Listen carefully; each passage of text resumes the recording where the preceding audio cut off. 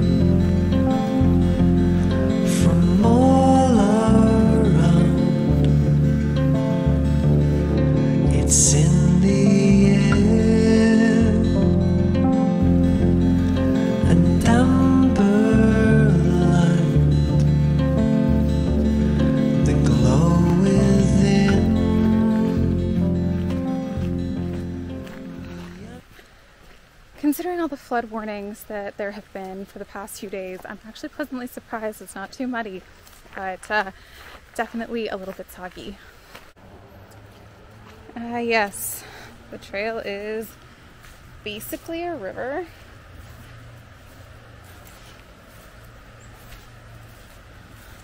And there's the actual river.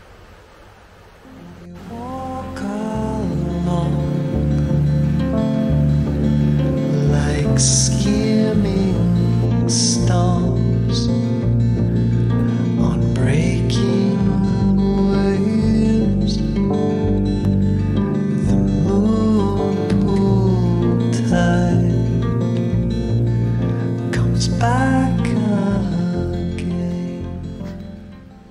not actually sure which trail to take here. There's this one, and there's this one you can just see through the trees here. This one looks kind of cool, but it's pretty overgrown along the top part.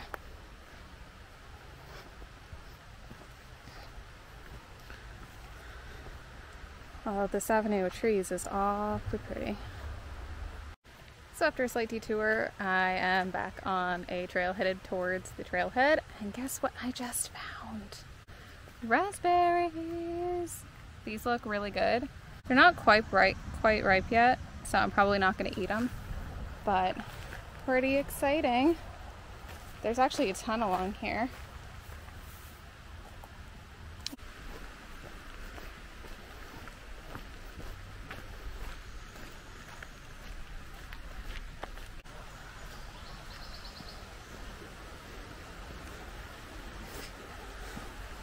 Let's try not to fall in the river.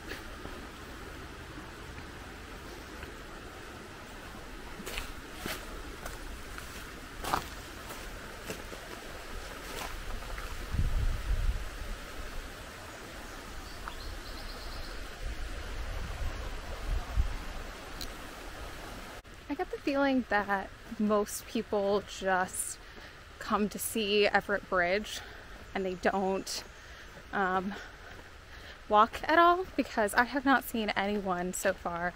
And this trail is actually really pretty. Um, it goes along the river. I'm on the other side of the river from where I started now. So the river is off to my right hand side, um, just like it was when I was walking up. It's actually really, it's really pretty. Um, the sun is sort of dappling, as you can see across my face. And um, I haven't seen anyone except a couple runners out on the road where I did a brief little road walk detour when I couldn't figure out what trail I was on. Um, even though this isn't a long trail, there's a little network of trails around here. So um, yeah, it's really peaceful. It's really quiet. Um, there's a lot of shade, which is nice because it is quite warm out already, even though it's only 10:30 in the morning.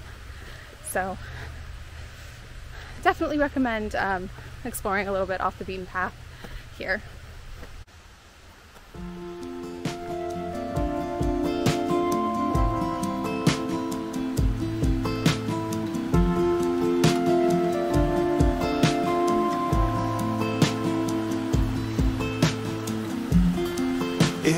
Getting dark. The dusk was dreaming. Maples swept and swayed. The stars All right, I am headed back to my car. Um, I ended up doing a little bit of riding run and a little bit of furnace run trails, so about half of one and half of the other. Um, and I am right now at just over a mile and a half, so a pretty short little trail, but pretty fun.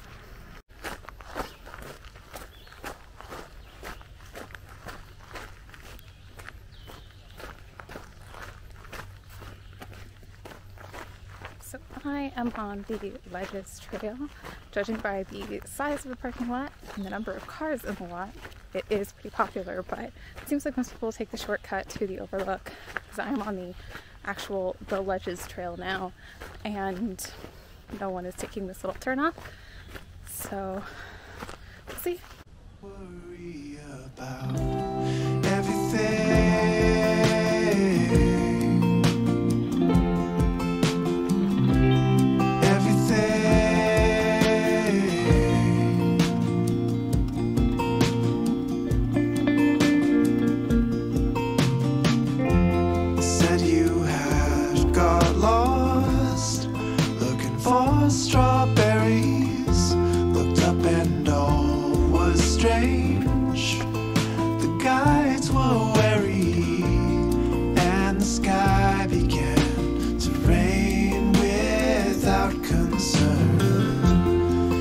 thought it would be best to fall on the shore. Someone led in song, he sang to the Lord, and I was praying that I'd not lost something I prayed.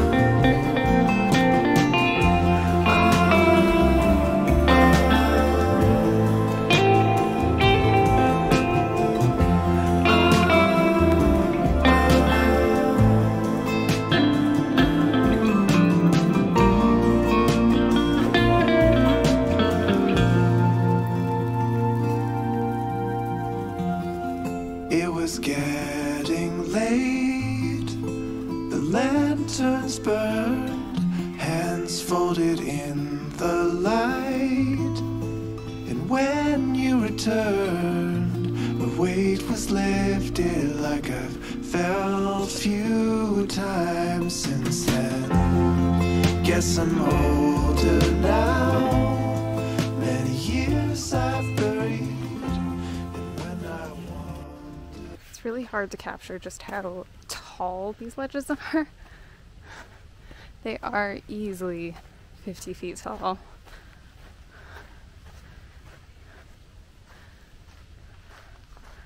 They are just massive. But what a cool trail.